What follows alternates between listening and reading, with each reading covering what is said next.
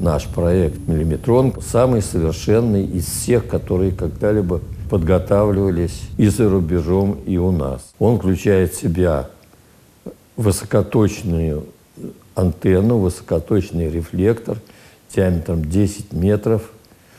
Э, он настолько точный, что позволяет работать на длинных волн короче 1 миллиметра, на субмиллиметрах. Поэтому точность поверхности этого зеркала около 10 микрон, очень точная. Инструмент этот еще замечательный не только высокой точностью, но и тем, что он э, требует для обеспечения высокой чувствительности э, очень глубокого охлаждения. Э, охлаждается до температуры жидкого гелия – 4,5 градуса абсолютных. Это минус 270 градусов Цельсия. Вот. Только такое глубокое охлаждение обеспечивает вот высокую чувствительность э, этого э, телескопа. Ну и, наконец, э, диапазон, в котором он будет работать, охватывает вот длины волн миллиметровые и субмиллиметровые до длины 1,1 миллиметра и несколько худшего качества еще более короткие волны до длины волны 20 микрон. То есть он позволяет регистрировать э, все излучающие объекты в этом диапазоне, которые очень плохо или совсем не видны с поверхности Земли. Ну и вот теперь вопрос о том, какие объекты будут исследоваться. В этом диапазоне самые разные э, механизмы излучения астрономических объектов. Один из механизмов – это излучение ядер галактик, где находятся сверхмассивные черные дыры. Э, из ядер галактик исходит излучение, так называемое синхротронное излучение.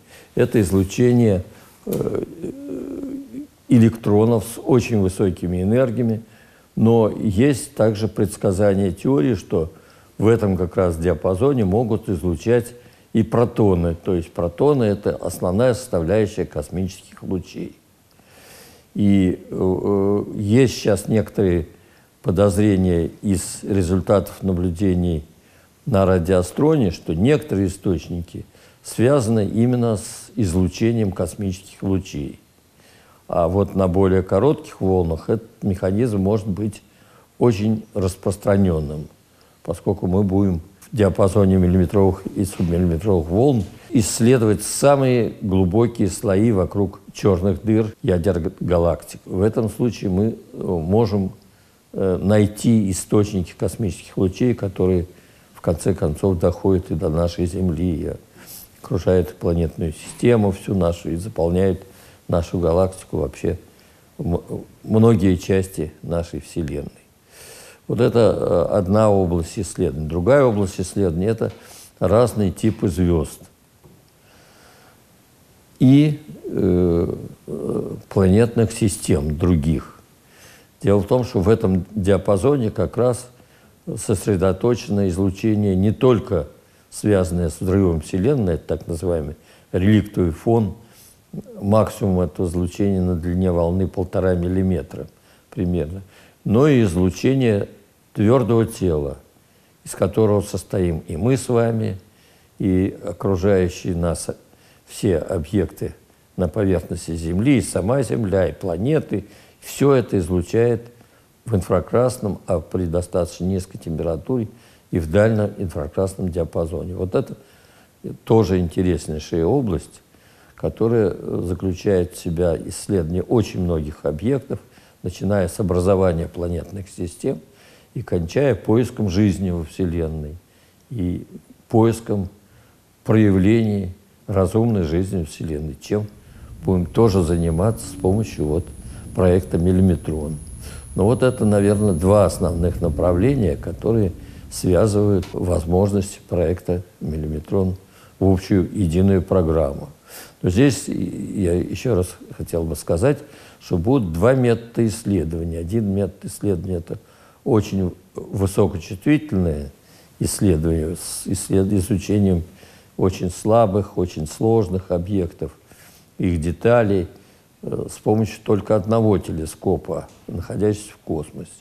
из-за глубокого охлаждения имеется возможность увеличить чувствительность этого инструмента, так что она будет в тысячу раз выше, чем чувствительность всех наземных телескопов, которые работают в настоящее время. Другая возможность – это получение очень высокого разрешения, углового разрешения для измерения размеров э, и э, формы источников. Э, это работа с помощью интерферометра. Здесь уже приходится привлекать наземные телескопы в качестве второго плеча интерферометра.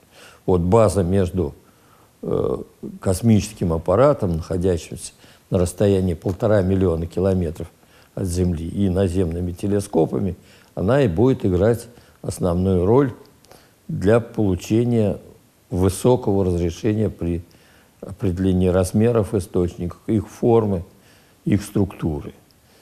Здесь э, обеспечивается э, угловое разрешение в десятки раз выше, чем радиострон даже. А радиострон обеспечивал разрешение в десятки раз выше, чем э, исследования, проводимые на Земле с помощью наземных интерферометров. Вот два метода исследований будут применяться для изучения на обсерватории «Миллиметрон» совместно с крупнейшими наземными телескопами.